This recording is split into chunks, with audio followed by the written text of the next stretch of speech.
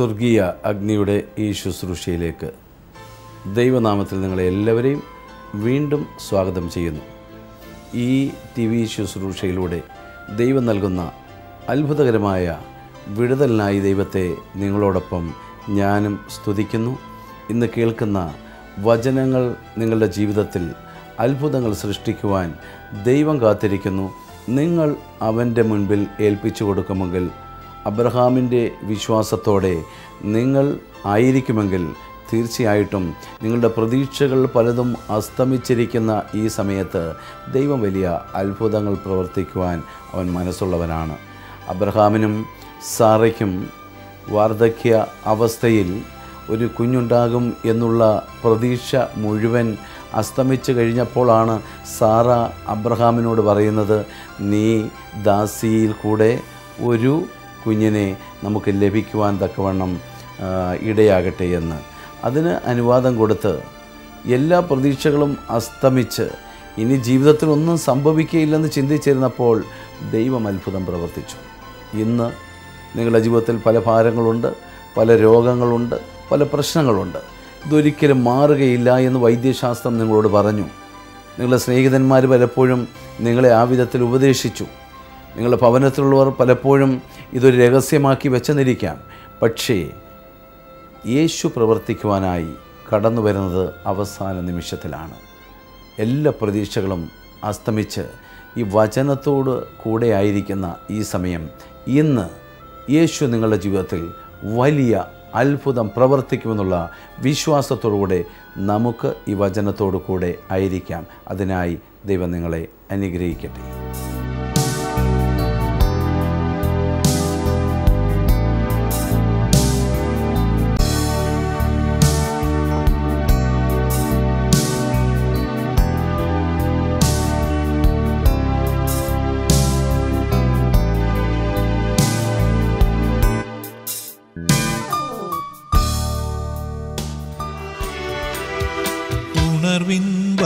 ലഭിപ്പാൻ ഞങ്ങൾ വരുന്നു തിരുസവിധേ.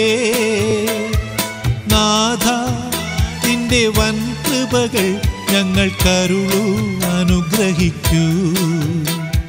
നാഥ നിന്റെ വൻ കൃപകൾ ഞങ്ങൾ കരുളു അനുഗ്രഹിക്കൂ. ഉണർവിൻ വരം ലഭിപ്പാൻ. ഞങ്ങൾ വരുന്നു തിരുസവിധേ.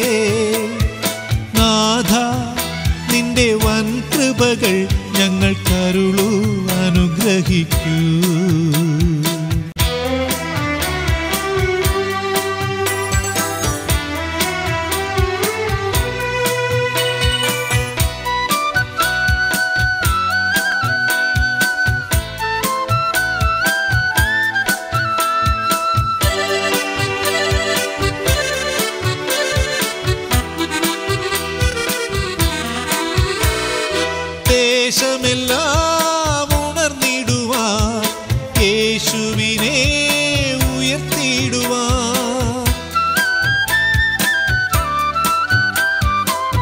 ദേശമെല്ലാം ഉണർന്നിടുവാ യേശുവിനെ ഉയർത്തിയിടുവാ ആശിഷമാരി അയക്കേണമേ ഈ ശിഷ്യരാം നിന്ദാസരിന്മേൽ ആശിഷമാരി അയക്കേണമേ.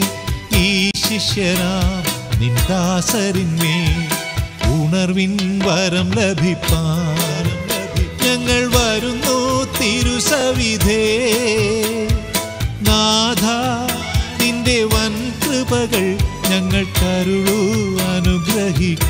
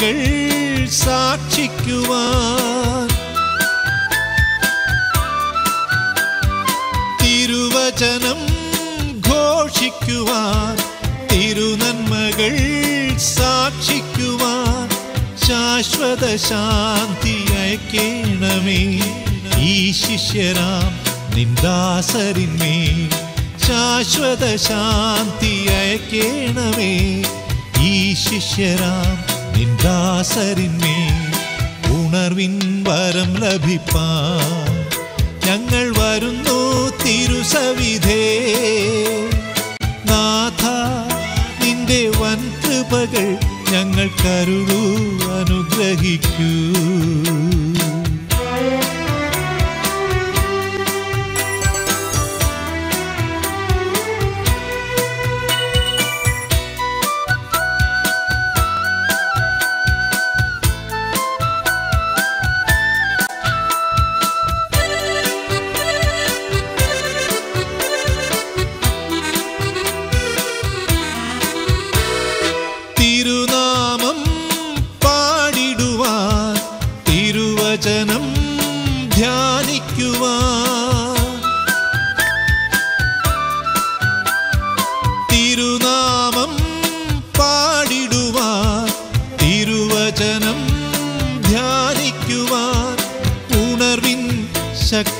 അയക്കേണമേ ഈ ശിഷ്യനാം നിന്ദാസരിന്മേൽ ഉണർവിൻ ശക്തി അയക്കേണമേ.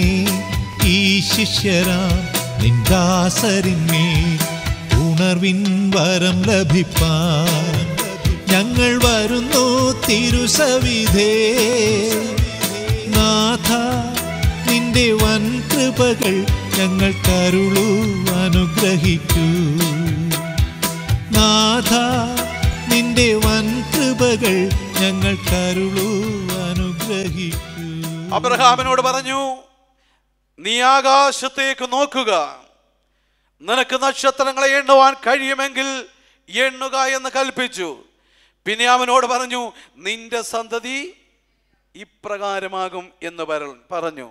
അബ്രഹാം ദൈവത്തിന്റെ വാഗ്ദത്തങ്ങളിൽ വിശ്വസിക്കുന്നത് അവന്റെ ജീവിതത്തിൽ പല പ്രശ്നങ്ങളുള്ളപ്പോൾ തന്നെയാണ്. നമ്മുടെ ജീവിതത്തിൽ പ്രശ്നങ്ങൾ ഉള്ളപ്പോൾ ദൈവം പറയുന്ന ഒന്നും കേൾക്കാൻ നമുക്ക് കഴിയത്തില്ല. ഇന്നും ദൈവം നമ്മളോട് സംസാരിക്കുന്നുണ്ട്. നമ്മുടെ ജീവിതത്തിൽ പ്രശ്നങ്ങൾ അടിക്കടി വർദ്ധിച്ച് വർദ്ധിച്ച് വന്നുകൊണ്ടിരിക്കുക. ഭാരങ്ങൾ കൂടിക്കൊണ്ട് വന്നിരിക്കുക. കണ്ണുനീര് തോരാതെ ഇരിക്കുക. പ്രശ്നങ്ങൾ ഒരിക്കലും അവസാനിക്കുന്നില്ല. പക്ഷേ ഇപ്പോൾ ഈ പ്രശ്നങ്ങളുടെ നടുവിൽ ദൈവത്തിന്റെ വാഗ്ദത്തങ്ങൾ വിശ്വസിക്കുന്നവർക്ക് ദൈവം എന്ന വലിയ വാഗ്ദത്തങ്ങൾ കൊടുക്കുക അവന് മക്കളില്ല. ഹാലേലുയ വന്ധ്യ വന്ധ്യയായ ഒരു ഭാര്യ ഉള്ളപ്പോഴാണ് ഇങ്ങനൊരു വാഗ്ദാനം. നമ്മളോട് പറയാന്ന് നമ്മൾ പറയും ഇങ്ങനെ ദൈവമേ നീ ഞങ്ങളെ കളിയാക്കല്ല. അവൾ വന്ധിയാണെന്ന് മാത്രമല്ല വന്ധിയാണെന്ന് മാത്രമല്ല അവളെ ലോകം മുഴുവൻ മക്കളില്ലാത്തവളെന്ന് മുദ്രകുത്തി കഴിഞ്ഞു. ഇനി ഒരു അത്ഭുതവും സംഭവിക്കാൻ പോകുന്നില്ല. ഇനി ഒരു വൈദ്യശാസ്ത്രവും വിജയിക്കത്തില്ല. ഇനി ഒരിക്കലും മക്കളുണ്ടാകത്തില്ല. ഈ പാവം പിടിച്ച മോണയെല്ലാം പല്ലെല്ലാം പോയി. മൂന്ന് തലമുറയ്ക്ക് കിട്ടേണ്ടതെല്ലാം കിട്ടി ജീവിച്ച് സമൃദ്ധിയായി ജീവിക്കേണ്ട കാലങ്ങളെല്ലാം കഴിഞ്ഞു. ഒന്നുമില്ല. ആ വല്യപ്പനോടും വല്യമ്മയോടുമാണ്. വല്യപ്പനെ വിളിച്ചിട്ട് വെളിയിൽ കൊണ്ടുപോയിട്ട് പറയാ നീ ആകാശത്തിലേക്ക് നോക്ക്. ഈ നക്ഷത്രങ്ങളെ എണ്ണാൻ കഴിയുമെങ്കിൽ എണ്ണ. നിന്റെ സന്തതി ഇതുപോലെ ആകും എന്ന് പറഞ്ഞു. അവന്റെ ജീവിതത്തിലെ കൊടുങ്കാറ്റ് ഇന്നോ ഇന്നലെയോ ഒന്ന് തുടങ്ങിയതല്ല.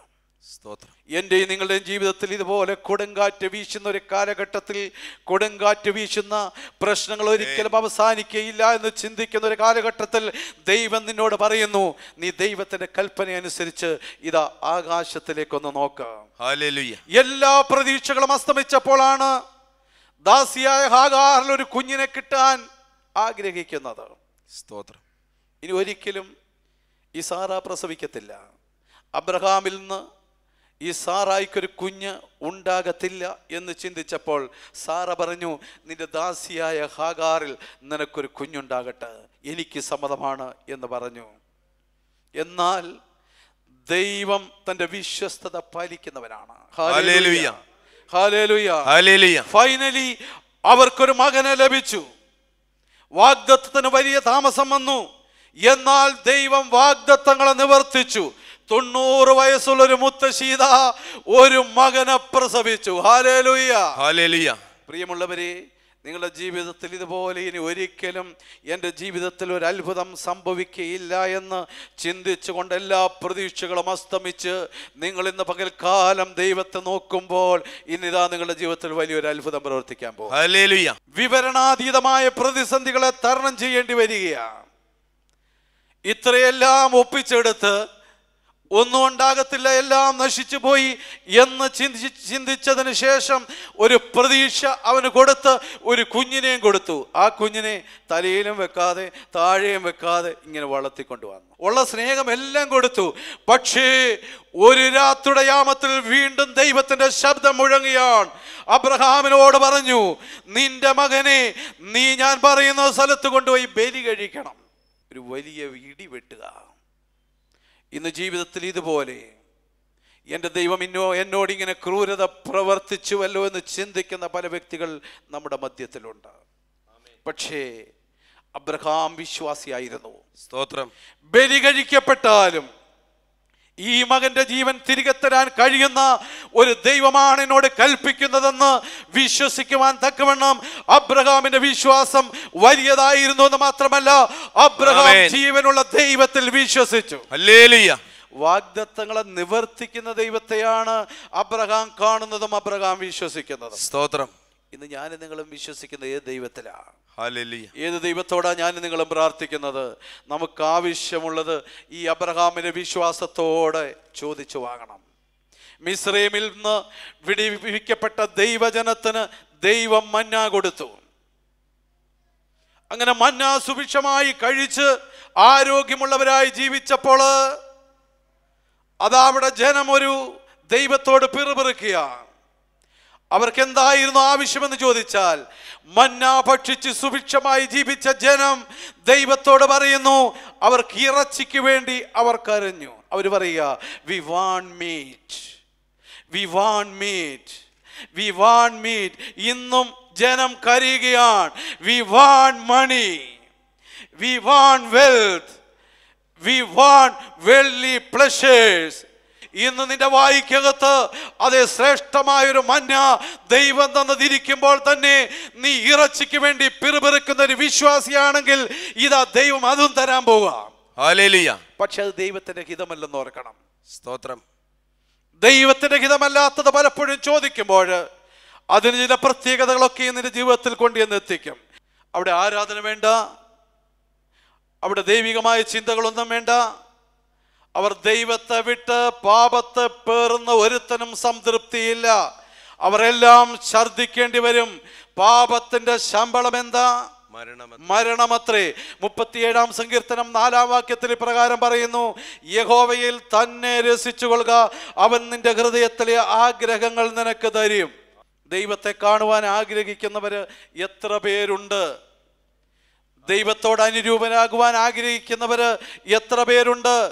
പാപത്തെ ദൈവത്തിൽ രസിക്കുന്നതിന് പകരം പാപത്തിൽ രസിക്കുന്ന മനുഷ്യ നിന്റെ ജീവിതത്തിൽ പലപ്പോഴും കയ്പ് നീരുകൾ മാത്രമാണ് നിനക്ക് ലഭിക്കുന്നത്. ദൈവത്തിന്റെ കൽപ്പന വിട്ടു പോകുന്നവന് ഒന്നും നേടാൻ കഴിയത്തില്ല. നീ ഇന്ന് പലതും നേടുവാൻ ആഗ്രഹിച്ചിരിക്കാം. പലതും നേടുവാൻ നിനക്ക് ആഗ്രഹമുണ്ടായിരിക്കാം. പക്ഷേ നിന്റെ ആഗ്രഹം ആ പത്രോസും കൂട്ടരും ദൈവമില്ലാത്തൊരു പ്രവൃത്തിയിലേക്ക് കടന്നു ചെന്ന് അവരതാ സമുദ്രത്തിന്റെ തീരത്ത് താടിക്കുകയും കൊടുത്തിരിക്കുന്ന അവസ്ഥയാണ് കാണുന്നത്. യേശു ക്രിസ്തു ക്രൂശിക്കപ്പെട്ടതിന് ശേഷം പത്രോസ് പറയുന്നു മറ്റുള്ളവരോട് പറയുന്നു ഞാനിതാ എന്റെ പഴയ പണിയിലേക്ക് പോകാൻ പോവാ. ആരാ പറയുന്നത്? നേതാവാ പറയുന്നത്. പത്രോസ് ആരായിരുന്നു? ശിഷ്യന്മാരിൽ നേതാവായിരുന്നു. അവൻ പറയുന്നു ഞാനിതാ എന്റെ പഴയ പണിയിലേക്ക് പോകാൻ പോകുന്നു. കൂട്ടുകാരെ വിളിച്ചപ്പോൾ അവരും കൂടെ ചെന്നു. അവരും കൂടെ ചെന്ന് ഒരു രാത്രി മുഴുവൻ അവരുടെ പഴയ പണിയിലേക്ക് അവർ ചെന്ന് അധ്വാനിച്ചു നോക്കി. അവർക്ക് വളരെ പരിചിതമായ ഒരു തുറമുഖത്തായിരുന്നു അവർ അധ്വാനിച്ചത്. അവർക്ക് വളരെ പരിചയമുള്ള ഒരു തൊഴിലാണ് അവർ ചെയ്തത്. പക്ഷേ രാത്രിയുടെ യാമം മുഴുവൻ അധ്വാനിച്ചിട്ടും ഒരു കുഞ്ഞു മീൻ പോലും കിട്ടാതെ പത്രോസ് താടിക്ക് കൈയും കൊടുത്തിരിക്കുക. ഇന്ന് ജീവിതത്തിൽ നിങ്ങളും ഞാനും ഇതുപോലെ താടിക്ക് കൈയും കൊടുത്തിരിക്കുന്ന അവസ്ഥയാണ്. എന്റെയും നിങ്ങളുടെയും ജീവിതത്തിൽ പരിചിതമായ തുറമുഖത്ത് താടിക്ക് കൈയും കൊടുത്തിരിക്കുക നമ്മൾ കാരണം എന്താ? നമ്മുടെ ജീവിതത്തിൽ ഇന്ന് സംഭവിച്ചിരിക്കുന്നത് പലതും അതാണ്. എന്താണെന്ന് ചോദിച്ചാൽ യേശുവിനോട് കൂടെയുള്ള ഒരു ജീവിതമാണ് എനിക്കും നിങ്ങൾക്കും ദൈവം കൽപ്പിച്ചിരിക്കുന്നത്. അതുകൊണ്ട് ഓരോ മനുഷ്യരും പറയട്ടെ the most important activity in my life is spending time with him യേശുവിനോട് കൂടെ ആയിരിക്കുന്നതാണ് നമ്മുടെ ജീവിതത്തിലെ ഏറ്റവും സുപ്രധാനമായ നിമിഷം. ദൈവത്തെ അറിയേണ്ടതുപോലെ അറിയുവാൻ ആ ദൈവത്തെ കണ്ടെത്തുവാൻ ഇന്ന് എനിക്ക് നിങ്ങൾക്കും കഴിയണം. ജീവിതത്തിലൂടെ ഓരോ നിമിഷങ്ങളിലും ജീവനുള്ള ദൈവം പ്രവർത്തിച്ചുകൊണ്ടിരിക്കുകയാണ് ഒരു ഒരു വർഷം മുമ്പ് ഒരു ചെറുപ്പക്കാരിയെ പത്ത് മുപ്പത്തഞ്ച് വയസ്സിൽ താഴെയുള്ള ഒരു പെൺകുട്ടി എന്റെ അടുത്ത് വന്നു. ദുബൈയിലാണ് കുടുംബമായി ആ പെൺകുട്ടി താമസിക്കുന്നത്. അവൾ സഹോദരനോട് കൂടി കടന്നു വന്നിട്ട് എന്നോട് പറഞ്ഞു തിരുമേനി ഞാൻ ദുബൈയിലെ ഒരു ഹോസ്പിറ്റലിൽ പനി കൂടിയിട്ടാണ് ചെന്നത്. അവിടെ ചെന്ന് ഡോക്ടർമാരെ കാണിച്ചപ്പോൾ ടെസ്റ്റുകൾ നടത്തിയപ്പോൾ അവരെന്നോട് പറഞ്ഞു നാൽപ്പത്തിയെട്ട് മണിക്കൂറിനുള്ളിൽ ഇന്ത്യയിൽ ചെന്ന് ചികിത്സ നേടണം. നിങ്ങളുടെ ബ്ലഡിൽ ബ്ലഡ് ക്യാൻസർ ആയിരിക്കുകയാണ്. ഹല്ലേലൂയ. വളരെ വേദനയോടും ഭാരത്തോടും കൂടിയാണ് കടന്നു വരുന്നത്. ഞാൻ പ്രാർത്ഥിച്ചിട്ട് പറഞ്ഞു മോളെ നീ ചെന്ന് നാളെ വീണ്ടും ടെസ്റ്റ് ചെയ്യണം. കൊല്ലത്തെ ഒരു സെന്ററിൽ ചെന്ന് അറുപത്തിയഞ്ച് ശതമാനം ടെസ്റ്റുകളെല്ലാം ചെയ്തിട്ട് അതെല്ലാം നെഗറ്റീവാണെന്ന് പറഞ്ഞ റിസൾട്ടുമായിട്ട് എന്റെ അടുത്ത് വന്നു. വീണ്ടും ഞാൻ പ്രാർത്ഥിച്ചിട്ട് പറഞ്ഞു നാളെ പോയി ബാക്കി ടെസ്റ്റുകളും കൂടെ ചെയ്യണം. വീണ്ടും പിറ്റേ ദിവസം പോയി. നൂറ് ശതമാനവും ടെസ്റ്റുകൾ ചെയ്ത് എന്റെ അടുത്ത് വന്നു. ഇപ്പൊ എന്തായി എന്ന് ചോദിച്ചപ്പോൾ പറയുന്നു ക്യാൻസർ പോയി. ക്യാൻസർ നീങ്ങിപ്പോയി. പ്രിയമുള്ളവരെ സ്തോത്രം. യേശു ക്രിസ്തു ഇന്നും ജീവിക്കുന്നവനാണ്. യേശു ക്രിസ്തുവിന് എന്നെ കുറിച്ചും നിങ്ങളെ കുറിച്ചും ഒരു പദ്ധതി ഉള്ളപ്പോൾ ആ പദ്ധതിയോട് ചേർന്ന് വരുമ്പോൾ നിങ്ങളുടെ ജീവിതത്തിന്റെ സകല പ്രശ്നങ്ങളെയും സകല രോഗങ്ങളെയും സകല ബന്ധനങ്ങളെയും എടുത്തു കളയുവാൻ കഴിയുന്ന ജീവനുള്ള ഒരു കർത്താവാണ് നമ്മുടെ മധ്യത്തിലുള്ളത്. നിങ്ങളെ ഭാഗികമായ ഒരു വിടുതൽ തന്ന് വിടാനല്ല ദൈവം ആഗ്രഹിക്കുന്നത്. നിങ്ങൾ വന്നതുപോലെ നിങ്ങളെ തിരിച്ചുവിടാനല്ല ദൈവം ആഗ്രഹിക്കുന്നത്. പൂർണമായ വിടുതലോടുകൂടി. അതാണ് യേശു ക്രിസ്തുവിന്റെ സ്വഭാവം കർത്താവ് നിങ്ങളോട് പറയുന്നു ഇന്ന് ഞാൻ ആഗ്രഹിക്കുന്നത് പോലെ നിങ്ങൾക്ക് വേണ്ടിയുള്ള ക്ഷേമകരമായ ഒരു പദ്ധതിയിലേക്ക് നിങ്ങൾ കടന്നു വരുമെങ്കിൽ ഞാൻ നിങ്ങളെ വെറുതെ വിടുകയില്ല. ഞാൻ നിങ്ങൾക്ക് പൂർണമായി വിടുതൽ നിന്ന് വിടുവാൻ കഴിവുള്ള ഒരു ദൈവമാകുന്നുവെന്ന്. ഹാലേലുയാ രാജാവായ ദാവീദിന്റെ ജീവിതത്തിലെ എല്ലാ പ്രയാസങ്ങളും അവൻ ദൈവത്തെ അന്വേഷിച്ചു. ആയിരക്കണക്കിന് വർഷങ്ങൾക്ക് ശേഷവും ജനഹൃദയം വിശ്വാസ ഹൃദയങ്ങൾ ഏറ്റുപാടുന്ന ഒരു സങ്കീർത്തനമുണ്ട്. ഏതാ? ഇരുപത്തിമൂന്നാം സങ്കീർത്തനം. അതിൽ നമ്മൾ ഇപ്രകാരം വായിക്കുന്നു അല്ലെങ്കിൽ പാടുന്നു. എന്താ? യഹോവ എന്റെ ഇടയനാകുന്നു. ദാവീദിന് അവനൊരു ഇടയൻ മാത്രമല്ലായിരുന്നു. ദാവീദിന് അവൻ വലിയൊരു പാറയായിരുന്നു. ദാവീദിന് അവൻ വലിയൊരു പരിചയായിരുന്നു.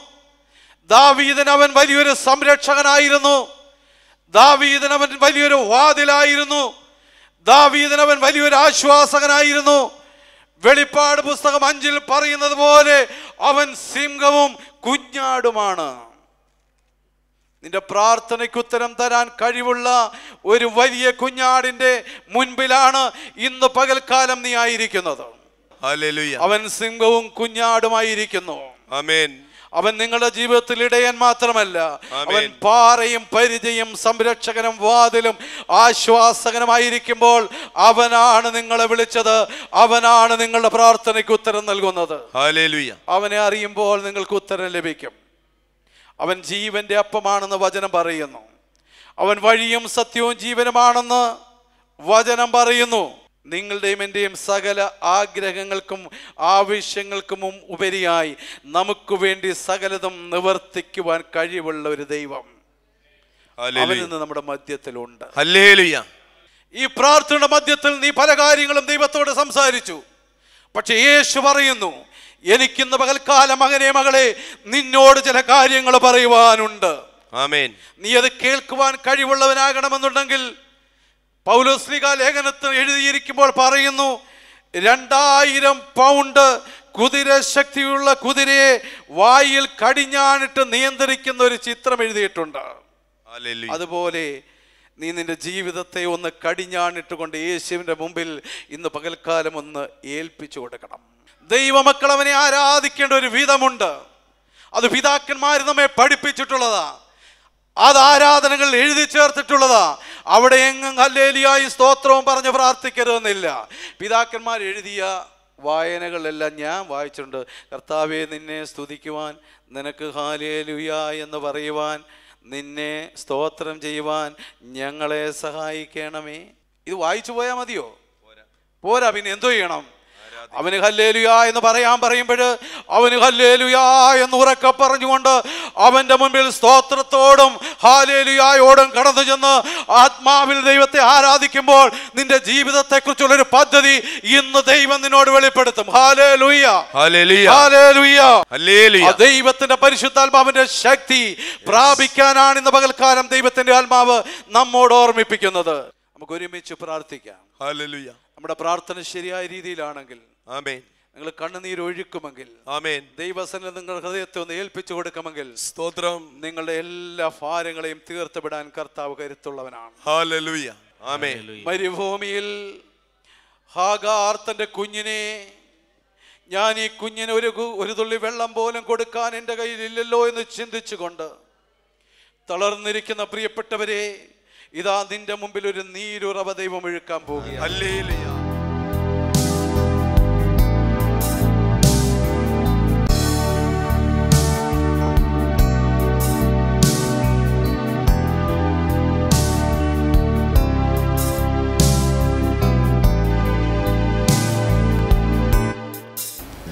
എന്റെ പേര് സരോജ നായർന്നാണ്. ഞാൻ ഞാൻ ഹിന്ദുമതത്തിലുള്ള നായ സ്ത്രീയാണ്. ഇതിന്റെ നോട്ടീസ് കണ്ടാണ് ഞാനിവിടെ പ്രാർത്ഥിക്കാൻ വന്നത്.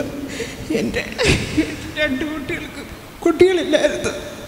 ആദ്യമായിട്ട് എന്റെ ഇളയ കുട്ടിക്ക് ഗർഭിണിയായ സമയത്ത് എന്റെ കുഞ്ഞിന്റെ വാൽവിന് കുഴപ്പമുണ്ടെന്ന് ഡോക്ടർ പറഞ്ഞു. അതിന് ഡോക്ടേഴ്സിനെ കണ്ട് പ്രാർത്ഥിച്ചതിന് ശേഷം തിരുമേനി ഞാൻ വിളിച്ച് മിക്കവാറും എല്ലാ ദിവസങ്ങളിലെങ്കിലും തിരുമേനി വിളിച്ച് കാര്യം പറയാറുണ്ട്. ആ സമയത്താണ് കഴിഞ്ഞ പ്രാവശ്യം സ്കാൻ ചെയ്തപ്പോൾ ഒരു കുഴപ്പമില്ലെന്ന് പറഞ്ഞു. യേശുവേ, ഞങ്ങളെ സഹായിച്ചു സ്തോത്രം ചെയ്യും. യേശുവിന് നന്ദി. ചേച്ചി എട്ട് വർഷമായി കല്യാണം കഴിഞ്ഞിട്ട് കുട്ടികളൊന്നുമില്ല. ഇപ്പൊ എന്റെ കല്യാണം കഴിഞ്ഞിട്ട് എട്ട് മാസമേ ആയിട്ടുള്ളൂ. ഞാൻ ആണ്. ഇപ്പൊ എട്ട് മാസമാണ്. അതിൽ ആറാമത്തെ സ്കാനിങ്ങിലാണ് ആറാമത്തെ സ്കാനിങ്ങിലാണ് കുട്ടിക്ക് ഇങ്ങനെയാണെന്ന് പറഞ്ഞത്. എന്താണെന്നാ പറഞ്ഞേ? ചെറിയൊരു ഹോൾ ഉണ്ടെന്ന് പറഞ്ഞു ഹാർട്ടിന് ആ കുഞ്ഞിന് ഉദരത്തിലുള്ള ആ ശിശുവിന് ഒരു ഹോൾ ഉണ്ടെന്ന് പറയുകയുണ്ടായി. ഡോക്ടർമാർ അത് പറയുകയുണ്ടായി. എന്നാൽ ഇവിടെ പ്രാർത്ഥനയ്ക്ക് വന്നതിന് ശേഷം കഴിഞ്ഞ മാസത്തെ പ്രാർത്ഥനയിൽ അവർ ഉണ്ടായിരുന്നു. ശക്തമായ പ്രാർത്ഥനയിലൂടെ എന്താ സംഭവിച്ചത്? ഇന്നലെ വീണ്ടും സ്കാനിങ് ചെയ്തു. പക്ഷെ അതിൽ ഒരു കുഴപ്പവുമില്ല. ഇതുവരെ കഴിഞ്ഞ മാസത്തെ പ്രാർത്ഥനയിൽ വന്നതിന് ശേഷം സ്കാനിങ്ങിലൂടെ പൂർണമായ വിടുതൽ കിട്ടിയെന്ന് ഇന്നലെയാണ് റിപ്പോർട്ട് കിട്ടിയത്. അവർ ഇന്ന് വന്ന് ദൈവനാമത്തെ മഹത്വപ്പെടുത്തിയതിൽ ദൈവത്തെ നമുക്ക് സ്തുതിക്കാം. എന്റെ പേര് രമണി. എന്റെ സ്ഥലം മണക്കാല. അപ്പം ഞാനിവിടെ ഈ തിരുമേനിയുടെ ഈ സദസ്സിൽ നാലാമത്തെ തവണയാണ് പങ്കെടുക്കുന്നത്. ഈ പ്രാർത്ഥനയിൽ നാലാമത്തെ തവണയാണ് വരുന്നത്. അപ്പോൾ അതിനോട് അതിനിടയ്ക്ക് എനിക്ക് വരാൻ ഒരുപാട് ബുദ്ധിമുട്ടുണ്ടായി. കാരണം ചെറിയ തലവേദനയായിരുന്നു എന്റെ പ്രശ്നം. അപ്പോൾ തലവേദനയിൽ ഞാൻ ഒരുപാട് ബുദ്ധിമുട്ടി. തലവേദനയ്ക്ക് ഞാൻ ഭയങ്കരമായിട്ട് വിഷമമുണ്ടായി. എന്തോ ഞാനൊരു ഹിന്ദു സമുദായത്തിൽപ്പെട്ട ആളാണ്. എത്ര നാളായിട്ട് ഈ തലവേദന ഉണ്ടായിരുന്നു? തലവേദന കുറച്ചൊരു ആറേഴ് മാസം കൊണ്ടുള്ള തലവേദനയായിരുന്നു. അതിന്റെ ഓപ്പറേഷൻ കഴിഞ്ഞാണ്. ഓപ്പറേഷൻ കഴിഞ്ഞാണ്. എന്നിട്ട് ഏഴ് മാസമായിട്ട് വീണ്ടും തലവേദനയാണ്. തലവേദന തുടങ്ങി. അപ്പോഴും എന്റെ ഹസ്ബൻഡ് പറഞ്ഞ് ഞാൻ തിരുമേനി ഒന്ന് വിളിക്കട്ടെ. വിളിച്ച ഞാൻ ഹസ്ബൻഡ് വന്നിട്ടുണ്ടല്ലോ അല്ലേ? വന്നാട്ടോ. ഉടൻ തന്നെ തിരുമേനിയെ വിളിച്ച് വിളിക്കുകയുണ്ടായി. അതാ എന്തോ ഒരു ഏഹ്, ചന്ദനത്തിരിയുടെ സ്മെല്ല് പോലെ വന്നിട്ട് ദുർഗന്ധം ഭയങ്കര ദുർഗന്ധത്തോടെ ഒരു സ്മെല്ലായിരുന്നു പക്ഷെ എനിക്ക് അതികഠിനമായ തലവേദന എന്തോ പൈശാചിക ശക്തി എന്നെ കടന്നുകൂടുന്നതായിട്ടുള്ളൊരു അനുഭവമായിരുന്നു ഒരു ഭവനത്തിൽ ചന്ദനത്തിരിയുടെ മണം പോലെ ഒരു പൈശാചികമായ ഒരു മണം കടന്നു വന്ന് തലവേദന ഉണ്ടാക്കുന്നതായിട്ടാണ് അറിയാൻ കഴിഞ്ഞത് അപ്പോൾ തന്നെ തിരുമേനി ഫോണിൽ കൂടി ബന്ധപ്പെട്ട് എനിക്കറിയത്തില്ല എന്റെ ആ തിരുവേനിയുടെ ആ പ്രാർത്ഥനയിൽ എന്റെ ഹൃദയം എന്റെ കണ്ണുകൾ കലങ്ങി മറിഞ്ഞ് ഒഴുകി നിമിഷത്തിനുള്ളിൽ ആ തലവേദന വിട്ടുമാറുകയും.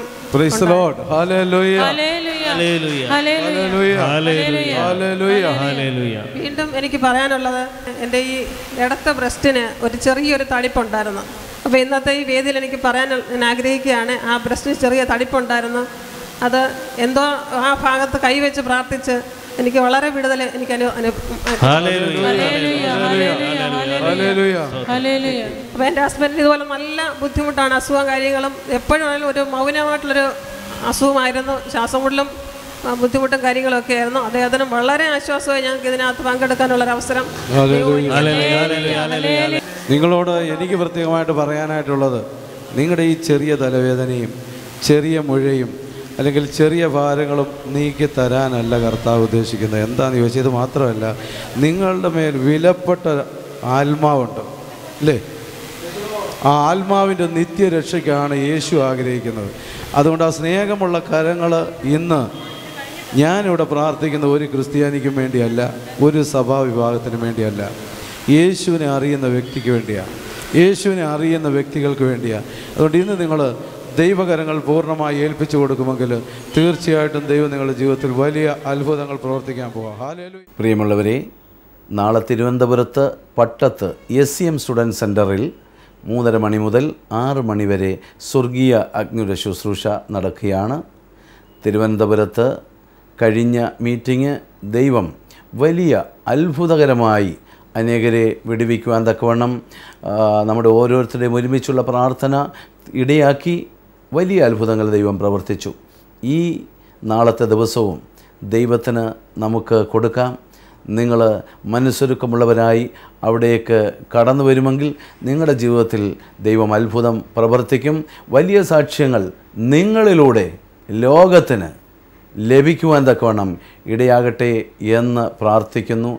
ഇപ്പോൾ ഈ ടി പ്രോഗ്രാം കാണുന്നവർക്ക് വേണ്ടി പ്രശ്നങ്ങൾ രോഗങ്ങൾ പ്രയാസങ്ങളുള്ളവർക്ക് വേണ്ടി നമുക്ക് ഒരുമിച്ച് പ്രാർത്ഥിക്കാം. കരുണാസമ്പന്നനായ ദൈവമേ അവിടുത്തെ കരങ്ങളിൽ പ്രിയപ്പെട്ടവരെ ഏൽപ്പിക്കുന്നു. ഇപ്പോൾ പലവിധമായ ഭാരങ്ങളുള്ളവരെ ദൈവകരങ്ങളിൽ ഏൽപ്പിക്കുന്നു. പ്രത്യേകമായി കർത്താവെ ക്യാൻസർ മൂലം ഭാരപ്പെടുന്ന അനേക വ്യക്തികളെ കർത്താവിന്റെ കരങ്ങളിൽ ഏൽപ്പിക്കുന്നു. പ്രത്യേകമായി പത്ത് വയസ്സുള്ള മൂന്ന് പെൺകുഞ്ഞുങ്ങളെ ക്യാൻസർ രോഗികളായി ദൈവകരങ്ങളിൽ ഏൽപ്പിച്ചു തരുന്നു. ഇപ്പോൾ കർത്താവെ അവിടുന്ന് അവരെ സ്പർശിക്കണമേ. ആണിപ്പാടുള്ള കരങ്ങളാൽ അവരെ തൊടുമാറാകണമെന്ന് പ്രാർത്ഥിക്കുന്നു. ഓരോ പ്രിയപ്പെട്ടവരെയും കർത്താവിന്റെ കരങ്ങളിൽ ഏൽപ്പിക്കുന്നു. യേശുവിന്റെ നാമത്തിൽ യേശുവിന്റെ നാമത്തിൽ രോഗബന്ധനങ്ങൾ അഴിഞ്ഞു പോകട്ടെ. യേശുവിന്റെ നാമത്തിൽ വലിയ അത്ഭുതങ്ങൾ സംഭവിക്കട്ടെ. യേശുവിന്റെ നാമത്തിൽ മദ്യപാനികൾ മദ്യപാന ആസക്തി വിട്ട് ഒഴിയുമാറാകട്ടെ. യേശുവിന്റെ നാമത്തിൽ കുടുംബ സമാധാനം കടന്നു വരുമാറാകട്ടെ. യേശുവിന്റെ നാമത്തിൽ യേശുവിന്റെ നാമത്തിൽ യേശുവിന്റെ നാമത്തിൽ തന്നെ. ആമി